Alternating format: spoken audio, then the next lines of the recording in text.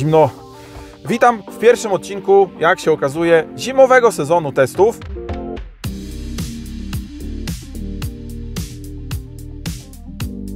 Bo co prawda jeszcze tydzień temu chodziłem po dworze w krótkim rękawku, a dzisiaj to będzie już kurtka, czapka i szalik. I to jest całkiem dobra analogia do tego samochodu, czyli do Renault Megane,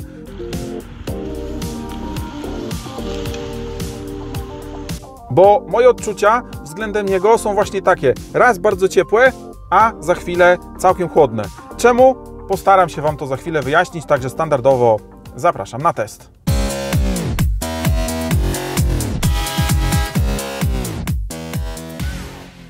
Oczywiście cześć wszystkim, witam w kolejnym materiale na kanale. Jak zdążyliście zauważyć, dzisiaj udajemy się do Francji, a może raczej Francja przyjechała do nas. Nie jest to oczywiście jej pierwsza wizyta, możecie zobaczyć na kanale, że mamy test diesla, mamy również tę wersję, czyli plugina. Tyle, że tam to był RS Line i to było kombi, a tutaj dzisiaj mamy przede wszystkim hatchbacka. Szybciutkie wprowadzenie dla tych, którzy nie oglądali albo może nie pamiętają, czym w ogóle jest wersja plug-in hybrid, a może czym raczej na papierze jest taka wersja. Otóż mamy tutaj silnik benzynowy, wolno ssący czterocylindrowy o pojemności 1,6 litra oraz oczywiście silnik elektryczny, nawet dwa silniki elektryczne. Moc, jaką charakteryzuje się ten samochód to 160 koni mechanicznych, a do 100 km na godzinę rozpędzimy się w 9,8 sekundy.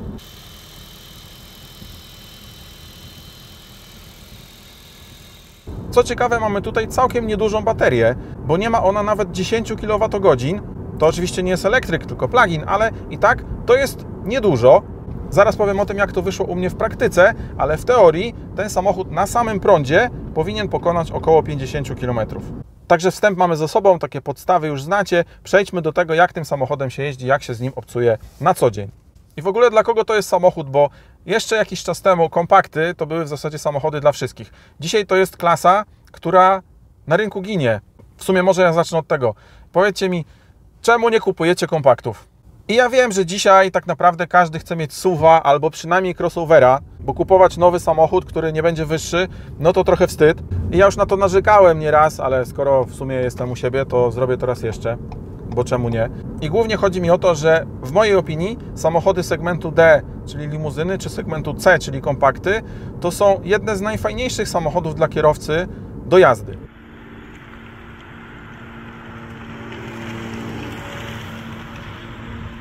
Oczywiście, pod kątem praktyki ciężko wygrać z crossoverem czy z SUVem, ale z drugiej strony, jakby się tak zastanowić, to spytam, jakie zalety mają crossovery, oprócz tego, że wygodniej do nich wsiąść czy wysiąść.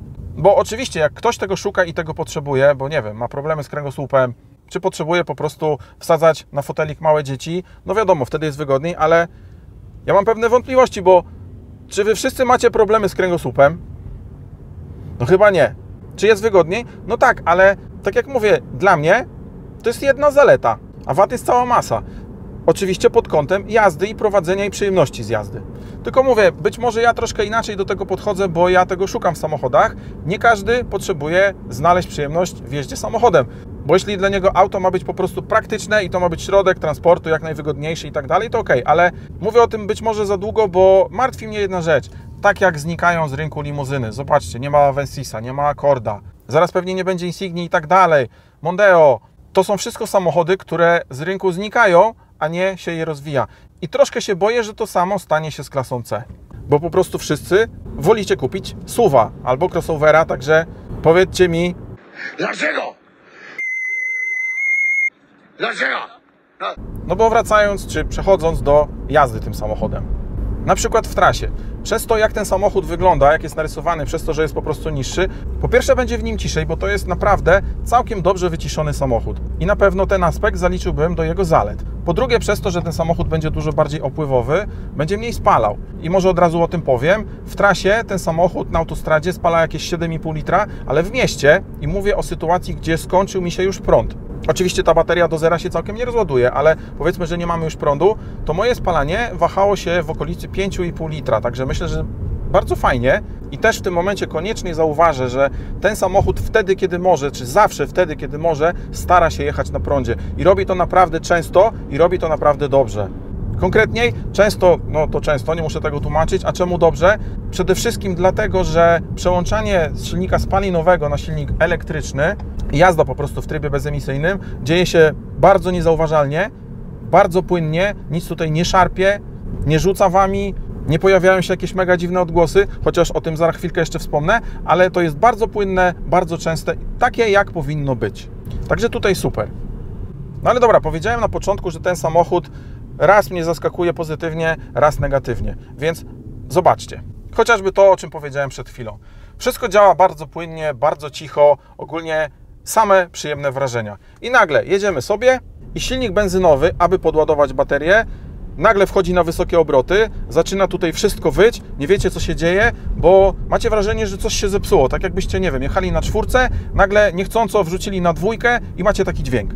To jest coś, co oczywiście robi większość samochodów tego typu, ale tutaj odbywa się to po prostu za głośno i to mi się nie podoba. Idziemy dalej. Bardzo fajne wnętrze, fajnie wykonane, super materiały, dobrze wszystko spasowane, tak mi się przynajmniej wydaje, patrząc na to, czy dotykając tego, ale Samochód ma przejechane 34 tysiące kilometrów. To jest oczywiście niedużo, ale jak na auto prasowe, testowe, to już jest dużo i być może wynika to z tego, być może coś tutaj się działo, być może, nie wiem, była jakaś stłuczka czy cokolwiek, nie wiem, nie pytałem albo mi nikt o tym nie powiedział, ale niestety muszę wspomnieć o tym, że tutaj pewne elementy trzeszczą. Jest takie bzyczenie, tak jakby samochód miał no, z 8 lat przynajmniej i ze 190 tysięcy za sobą, a nie 30. Więc to na pewno również nie fajnie. Ale całe wykonanie, wygląd tutaj środka, naprawdę zero zastrzeżeń, a wręcz powiedziałbym super. Zobaczcie na ten ekran, on ma świetną jakość, naprawdę świetną, szczególnie wieczorem, kiedy tutaj mamy podświetlone drzwi, bo mamy tutaj LEDy. Tutaj też również przy kontroli środkowej fajny LED, możemy te kolory zmieniać. Świetnie to wygląda. Podkreślam jeszcze raz jakość, podkreślam design na przykład zegarów, bo to wszystko wygląda, szukam słowa, może elegancko, to będzie dobre określenie. Bardzo elegancko, bardzo eleganckie wnętrze, takie francuskie. To pewnie nie spodoba się każdemu, ale ogólnie myślę, że zgodzimy się, że jest to ładnie narysowane i, tak jak mówię, eleganckie.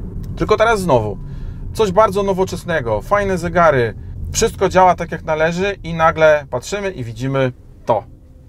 No, hello, Paryż, Francja, słychać mnie tam? Co to jest? Znaczy, co to jest? To jest head-up, ale jak można tak dzisiaj zrobić head-up? Head-upów nie robimy już na żadnych wysuwanych szybkach. Swoją drogą nie wiem w ogóle jak ją schować. Nie mogę tego znaleźć. Pewnie się da, ale nie wiem jak. Ale nieważne. W ogóle nie powinien mieć takiego dylematu. Head-up robimy dzisiaj na szybie, a nie na takiej małej szybce. Czemu? Bo po pierwsze tak już robią wszyscy, a po drugie zwróćcie uwagę, head-up, który wyświetla się na szybie, widzicie tak jakby przed samochodem, przed sobą, czyli gdzieś rzucony w dal. Head-up, który macie tutaj na tej szybce jest bliżej niż to, co patrzycie co się dzieje na drodze. Nie wiem, czy dobrze mnie zrozumieliście, ale chodzi przede wszystkim o to, że nie musimy regulować wzroku, czyli patrzeć do przodu i nagle, żeby zobaczyć na przykład prędkość w tym miejscu, znowu do przodu i w tym miejscu. To jest niewygodne, to jest niefajne i tak jak powiedziałem, jeśli ten head-up ma być tutaj, to lepiej, żeby go w ogóle nie było. Takie jest moje zdanie. Natychmiastowo do ulepszenia i po prostu zmiany. Kolejna rzecz, skrzynia. Nie będę wnikał w techniczne aspekty, jak to jest zrobione, bo w zasadzie chyba w żadnym teście nikt nie wie do końca, o co tutaj chodzi. Jak twierdzi Renault, oczywiście Formuła 1, skrzynia ze sprzęgłem kłowym, teoretycznie bez biegów, ale powiedzmy z pewnymi trybami. Nie będę wchodził w szczegóły, bo sam ich do końca nie rozumiem, ale myślę, że dobrym określeniem jest to, że działa to troszkę jak przerzutki, czyli macie pewne warianty, bo macie z przodu przerzutkę z tyłu, więc możecie sobie kombinować. I tak trochę działa ta skrzynia, bo tych wariantów i tych przełożeń jest podobno kilkanaście. Ale tak jak mówię, nie zagłębiajmy się w to, przejdźmy do wrażeń. No to wrażenia są takie, że jest to zdecydowanie lepsza skrzynia pod kątem jazdy, pod kątem fanów z jazdy od tych nieszczęsnych skrzyń bezstopniowych, bo wiem, że wielu z Was kłóci się ze mną i pyta, czemu ja tak nie lubię tych skrzyń bezstopniowych. Nie będę w to wchodził w tej chwili, po prostu ich nie lubię. I ta skrzynia od skrzyń takich standardowych, bezstopniowych skrzyń jest dużo fajniejsza do jazdy. I to jest to ciepłe uczucie.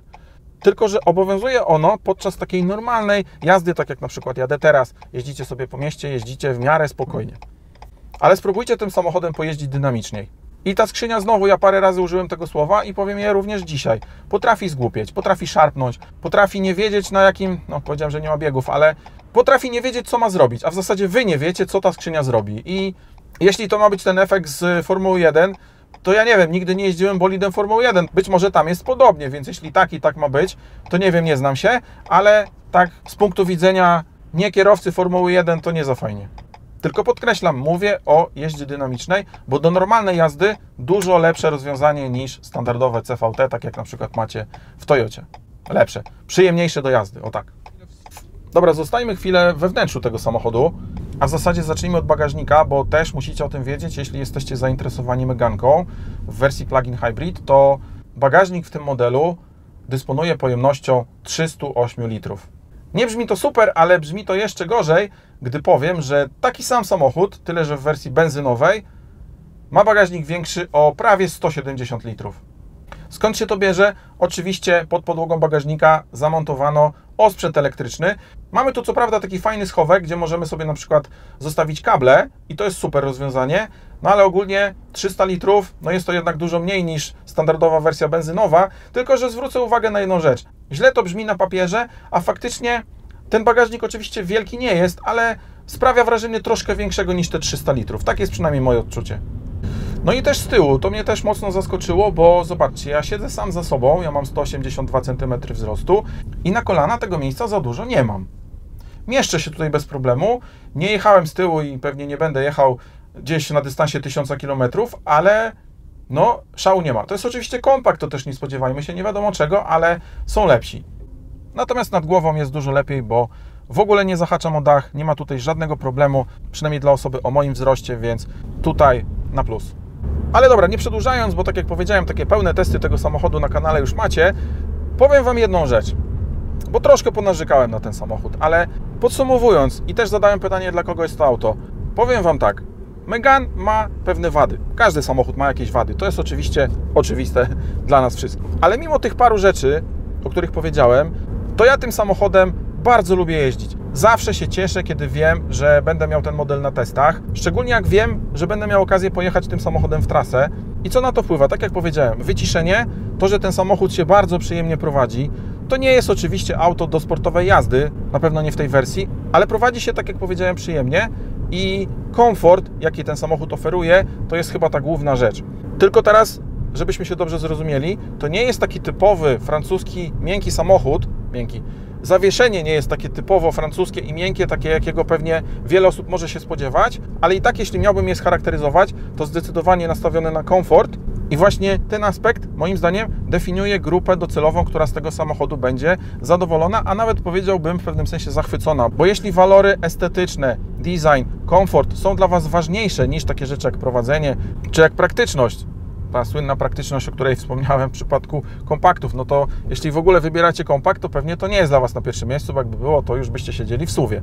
Więc jeśli lubicie właśnie takie rzeczy, bo ten samochód, umówmy się, jest ładny, albo inaczej, bo ciężko narzucać innym swoje zdanie, szczególnie w takiej kategorii. To w mojej opinii ten samochód jest bardzo ładny, bardzo atrakcyjny wizualnie i on ma troszkę tego czegoś, co ciężko zdefiniować, co jest taką rzeczą trudno definiowalną, ale on przyciąga do siebie i po prostu ten samochód się lubi. Może to jest głupie zdanie w ustach kogoś, kto testuje samochody, bo ja pewnie powinienem mówić konkretnie to, to i to, ale starałem się to już powiedzieć, a teraz podsumowuję i myślę, że to nie jest tylko moje zdanie, bo też kumpel, który testuje ze mną zawsze samochody, pozdro Grzesiek, to samo powiedział, że on zawsze lubił jeździć Meganem. To już powoli kończąc, jeśli również zawsze lubiliście jeździć Renault Megane, to z najnowszej generacji będziecie bardzo zadowoleni. Takie jest moje zdanie. No a teraz jak już swoje przysłodziłem, to przejdźmy do części ulubionej, czyli ile takie cacko kosztuje. To teraz siądźcie sobie wygodnie, zróbcie sobie kawkę, nie, kawkę nie. Zróbcie sobie melisę, zróbcie pauzę, napijcie się, uspokójcie, siądźcie, żebyście na pewno nie stali. No i jak siedzicie? Renault Megane w wersji E-Tech, czy innymi słowy w wersji plug-in hybrid kosztuje 155 900 zł i jest to jedynie 40 tysięcy złotych więcej niż taki sam samochód z tym samym wyposażeniem w wersji silnikiem benzynowym o mocy 140 koni. Także tego 40 tysięcy. Co można kupić za 40 tysięcy? Pewnie to i 30, co jedzie z przodu, no tam parę lat już ma, ale dużo by dokładać nie trzeba. Tego Passata to tak jest 4, tamtego Peugeota więc wasza decyzja. Czy wolicie Megankę, na przykład 140 konną, bardzo fajnie wyposażoną, z taką samą jakością, czy wolicie dołożyć te 40 tysięcy złotych i kupić plugina, który jeździ całkiem spoko, jest bardzo fajnym samochodem, I jak macie warunki, żeby się Wam chociaż część pieniędzy zwróciła, czyli będziecie sobie ten samochód ładować i w trakcie dnia te 40 km przejeżdżać, właśnie, bo nie powiedziałem, ten samochód teoretycznie powinien przejechać na prądzie około 50 km, mi się to ani razu nie udało, bardziej było to 40 km albo nawet niecałe 40, tylko zwracam uwagę, że jest już zimno, jest poniżej zera, więc myślę, że gdyby było cieplej, to w granicach tych 45 km dałoby radę zrobić. I tak jak mówię, jeśli macie takie warunki, możecie to wykorzystać, to ok, ale ja na milion procent, albo może na 40 tysięcy procent wziąłbym jednak wersję czysto benzynową. Dajcie znać, jak podoba Wam się Renault Megane, co sądzicie o tej cenie, o wersji plug-in, jakie są w ogóle Wasze odczucia odnośnie tego samochodu. I na koniec szybko przypomnę o subskrypcji dla tych osób, które jeszcze tego nie zrobiły, to jak skończy się ten film, to kliknijcie subskrybuj, kliknijcie ten słynny dzwoneczek, aby YouTube przypomniał Wam o kolejnych materiałach, które wiadą niedługo na mój kanał. A ode mnie na dzisiaj byłoby to już tyle. Dzięki, trzymajcie się, cześć!